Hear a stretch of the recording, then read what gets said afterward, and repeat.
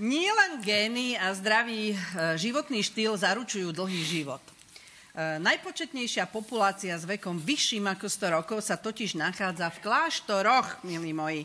Mnohé mníšky za to vďačia kultúrnym praktikám, ktorým sa venujú, sú súčasťou úzkej a podpornej komunity, odmietajú stigmu e, okolo starnutia a až do vysokého veku sa podielajú na každodenných aktivitách, ako je modlitba a socializácia.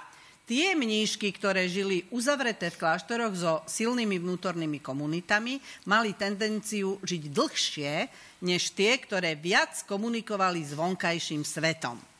Počúvajte, mníšky, to sú také zvláštne bytosti. Oni, e, tak sa inak k ním správame, aj keď sú teda v tom vonkajšom svete okolo nás, neviem, tri týždne e, dozadu ma viezol kamarát jeho autom domov do Devinskej a tam pribudlo teraz veľa kruhových objazdov, tak sa tam chvíľu motal a potom už chcel odbočiť. A popred nás, ale tak tesne, e, vyletelo auto von, teda z toho kruhového objazdu, on sa napálil, taký nerváčik je trošku.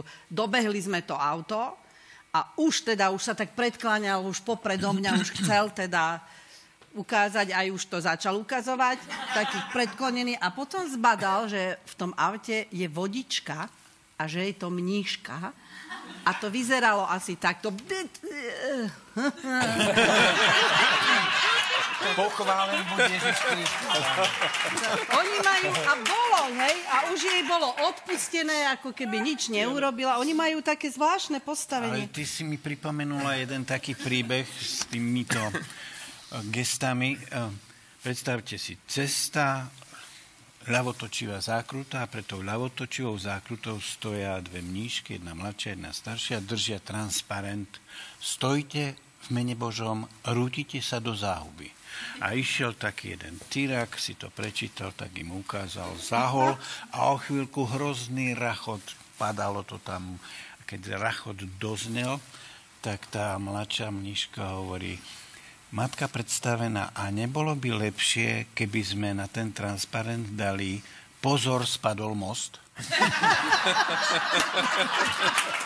No, ale si hovorila, že tí, čo majú 100 rokov, že ešte sa chcú, chcú e, dožiť väč, vyššieho veku, tak ja som mala nedávno 80 ešte 20 rokov budem chodiť do sedmičky. Je to tak. A to už my tu nebudeme. Sama bude sedieť. Budem s Milanom. Tak.